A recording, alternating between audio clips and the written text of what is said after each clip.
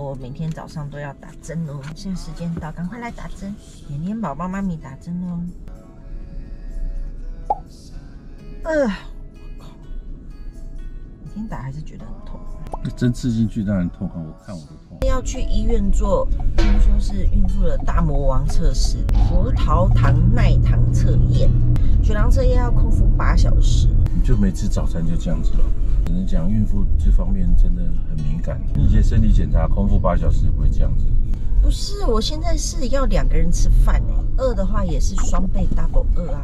可是我有点担心，可能心里面有点压力吧，因为我从来没有做过这个检查。因为这个检查呢是孕妇在二十四周到二十八周要做的检查。那高龄做的吗？还是一般都要做？我也不知道哎，我也不懂。但我也有朋友没有做。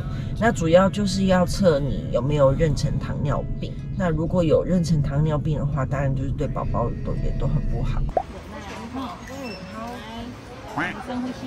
空腹血糖抽完了，永远没办法习惯抽血的痛，看起来感觉很先喝水。对，十五分钟内要把它喝完。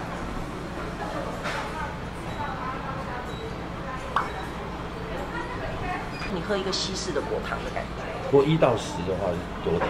其实没有我想象中的甜。刚刚那个帮我抽血的姐姐交代，就是我只要不要把它吐出来就好了，因为吐出来怕影响浓度。喝完了，干杯了。第三个针孔终于回到车上了，但时间差不多了，因为呢我每天早上都要打针哦。现在时间到，赶快来打针，年年宝宝妈咪打针哦。每天都要给他心理建设。他现在越来越大，所以有时候我打针的时候，他会这边弹来弹去，我都很怕他戳到针，应该是不会啊。呃，我靠，每天打还是觉得很痛。针刺进去当然痛啊，我看我都痛。好了，完成了，准备回家了。